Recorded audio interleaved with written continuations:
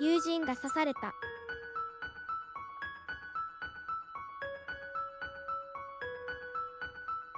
2023年5月29日午前3時前に東京都新宿区歌舞伎町のマンションから友人が刺されたと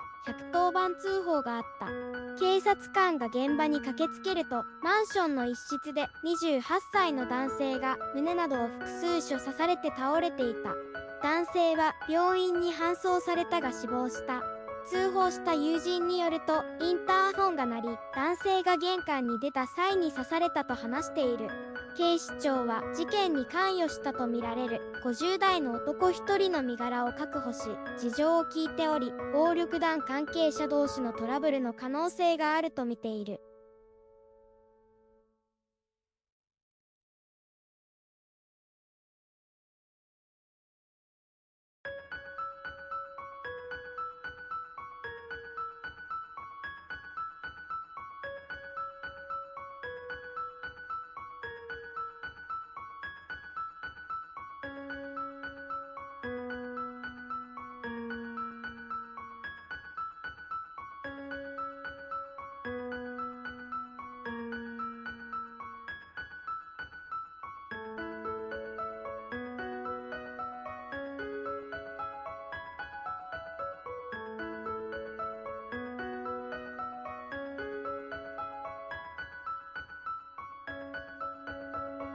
知らない人が深夜にインターホンを鳴らしても扉を開けちゃダメ絶対。